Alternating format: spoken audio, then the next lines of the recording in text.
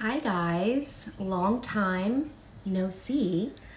I don't know why I just, as second I said that, I remembered that I haven't taken my pills this morning. Oh boy, I'm trying to get better at like taking them earlier. Um, as you can see, I have some of my makeup done. I'm just kind of finishing up. Thought I'd do a little vlog style video today. I actually filmed one similar to what I had planned to do today, uh, not that long ago, maybe two weeks ago, and deleted the whole thing because this happens too often. Like I start to film and I get into it and then I go to edit it and I go, this is stupid, nobody wants to see this, which isn't very nice of myself to myself. I thought about making a TikTok instead because TikTok has 10 minute videos now, but I was like, I don't think 10 minutes is gonna be long enough for my talkative ass. And also, I do miss YouTube, but I gotta be honest, more than the feeling of missing YouTube, I really, really, really, I'm, I'm in a bad mood about TikTok right now because I don't know if you guys go on the platform like I do, but it is non-stop ads it is non-stop people trying to sell stuff on TikTok shop. It is non-stop just like consumerism more than like I who likes to shop, who likes to buy stuff. Like it is just way too much right now. Like it literally gives me anxiety scrolling and I'm trying to like scroll really fast past videos of like people selling on TikTok shop and blah, blah, blah, blah, blah. And the thing is, it's not even about like, I don't want creators to make money or like I have affiliate links. I have a like to know it. I have an, I don't know why that was in quotes. I have an Amazon storefront. And yeah, like I, of course, want to make money with those things. It's just like every video, bro, when it's every single video I see, like I would say eight out of 10 videos, maybe seven out of 10 videos that I see are selling, selling, selling, selling. I, I can't. And then of course, like a lot of the people also, I don't know, just like the way they come off, I feel like TikTok has glorified a lot of creators who have this certain style of or like approach to their videos where it's very like I don't know if I'm to be able to portray this the same way, but you know where it's like oh my gosh, guys, I just got this and I'm never gonna believe this. Or it's like some sort of hook at the beginning that's like, you're never gonna believe what I got. And it's just like, oh my God. And then they're showing like a freaking deodorant or something. You know what I mean? I was in sales for 10 years. I understand. Uh, sales is hard, um, especially online. You gotta have a hook. You have to have something that's gonna capture people's attention. But seriously, I'm sick of it. Like, I'm honestly just really, really sick of it. You know who I'm loving right now so, so, so, so, so much? And it is the opposite of anything like that because it's happening on YouTube too, where a lot of creators are just posting basically to post their, to then post their affiliate links under the description. It doesn't really seem like people are genuinely I don't know. I shouldn't say people because I'm I'm positive there are creators out there who I have not yet found who are not doing this. But it does seem like everyone is here to or like online to just try to sell something and especially and I know you guys have to feel this too, especially with how expensive everything in the world is right now. Look at my baby. He's so cute and chubby. It is really hard to see people trying to sell you something or encourage you to buy stuff when a lot of us like just frankly cannot at the moment. You know what I mean? I know me personally, I mean, opening my business this year, I quit my job well over a year ago. I have spent so much getting my business started and I'm not in a position that I can just go buy whatever I want at the drop of a hat. Um, not that I absolutely could do that when I had my corporate job, but it was definitely more doable and also things were less expensive. Like that's a fact. So money went a little bit further. Anyways, I'm personally trying to, like, and I mean, it is daily because I'm somewhat of an addict. I definitely use shopping as like somewhat of a coping mechanism and I, I like shopping. I honestly, I love it. It's so fun. I love, like, I have a couple of, um, not even events, just like plans for December. And I'm like, oh, I wanna get this outfit and I wanna get that. And then I like go online and I look at the outfits that I wanna buy and I'm like, what am I doing? Like, I'm not even looking in my own closet. Like, I gotta stop. Anyways, I have a little bit of a problem with shopping and spending money. And I'm really trying to be better and not just frivolously spend. It's really hard during the holidays. I, I, I'm sure that you guys agree with that. And so, not only is it annoying to go on these platforms and just see creators that just like seem like they're not even really into what they're doing anymore. They're just like, let's say for makeup, they're not even really into that. They're just like, okay, what what am I gonna sell today? So that's annoying, but then also like, yeah, I'm trying to hold back from spending money. I can't really like watch creators that are saying, hey, hurry up and spend this money. And, you know, I'm not trying to say I'm never gonna post again with like affiliate links or I'm never, I just don't want it to be every goddamn video. You know what I'm saying? Anyways, what I was going to say is, do you know who I really, really love right now? I'm watching him literally like every single day. Peter Monn. I feel like I was subscribed to him, or at least I like, I think I just knew of him years ago. And for some reason, I didn't really like subscribe or like start to become a fan.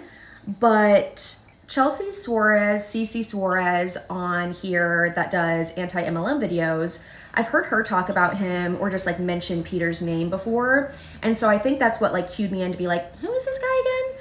And then I looked at his channel, his drama channel in particular, and now I'm subscribed. He has literally seven channels. Now I'm subscribed to uh, his vlog channel and his drama channel, but I really only watch consistently his drama videos. But why I love him so much, his personality is really great. He's really funny, but I just love the style of video where people are just sitting and just talking.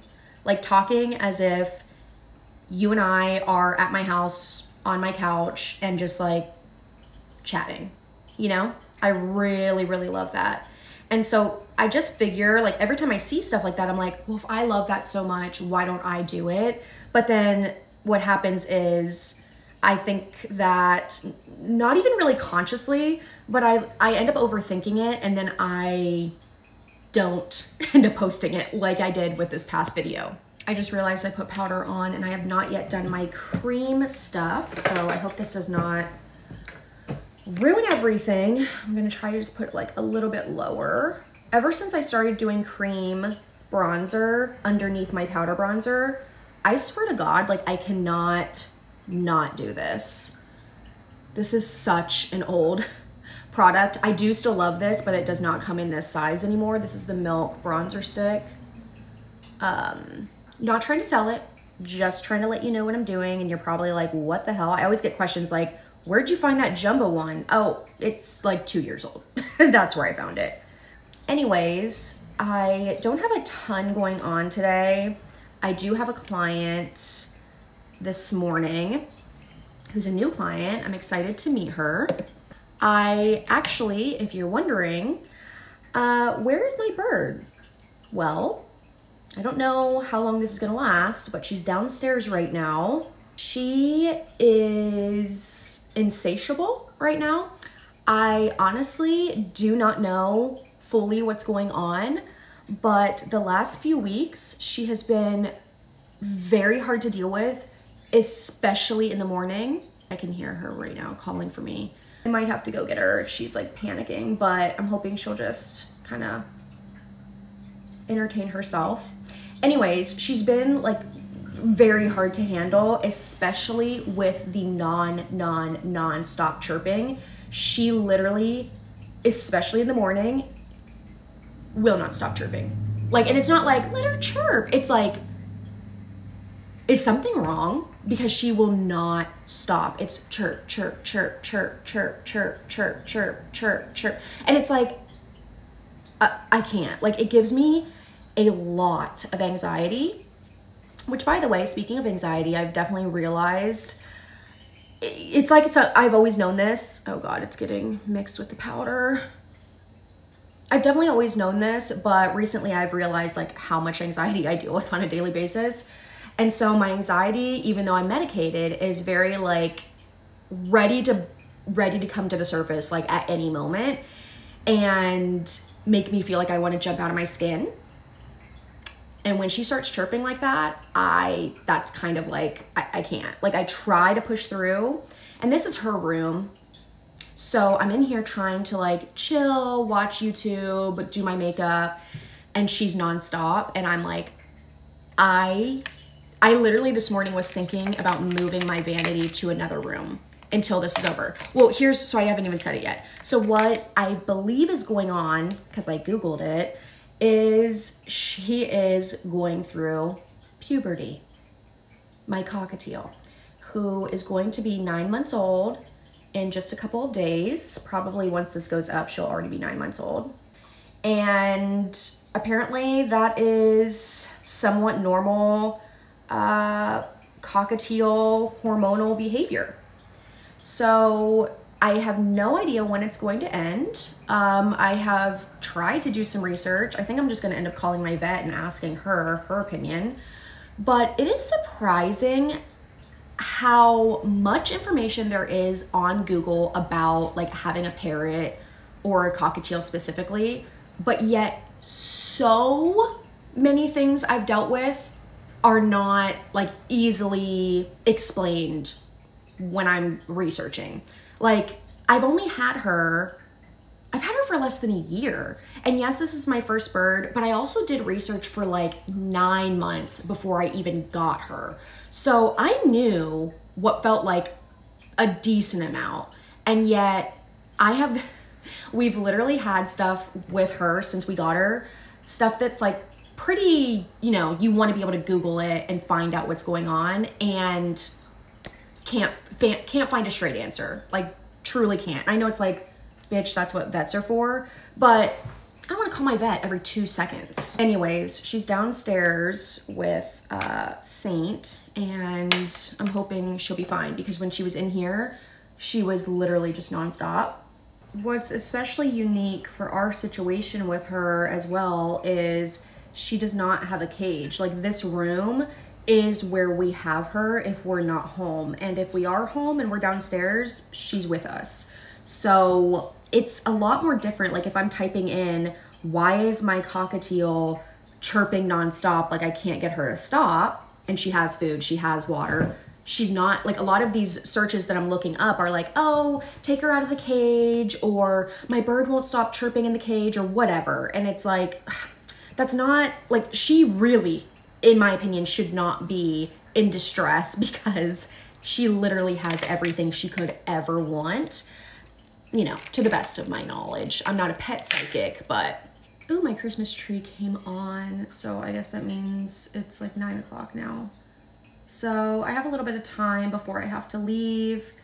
I actually went to the spa yesterday and did a lot of stuff. I didn't have any clients yesterday.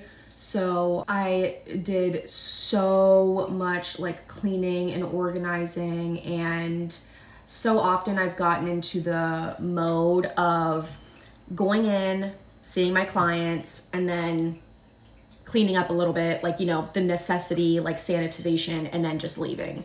And not really like hanging out there because I want to be home. Especially, I have, you know, I'm open till like eight o'clock. So sometimes I have a client come in at six and then I'm there. Literally, the other night, I didn't leave until nine o'clock.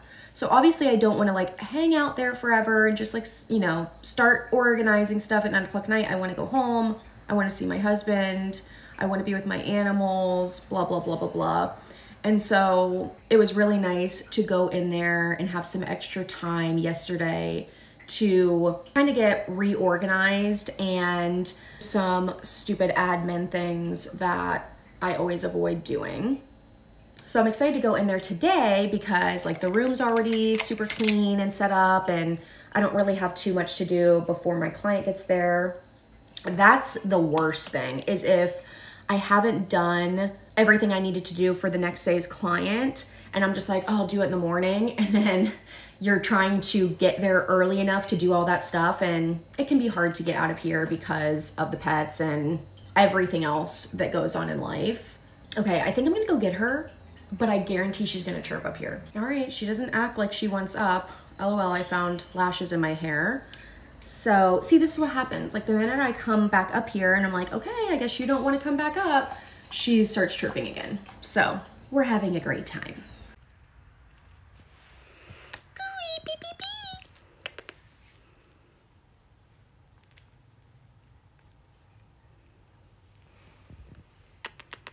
You have warm feet.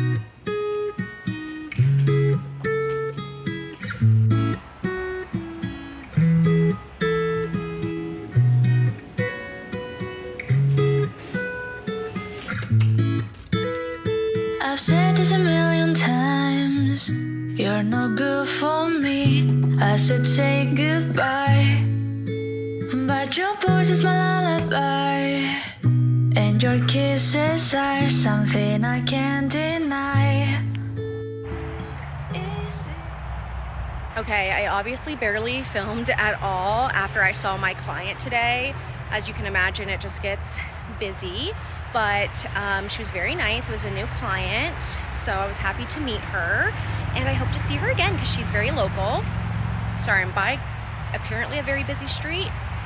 Um, and then I did take a little walk with my friend Lauren, who lives downtown St. Pete now. She just moved back actually from being literally out of the country for like three years. So I've been seeing her as much as possible.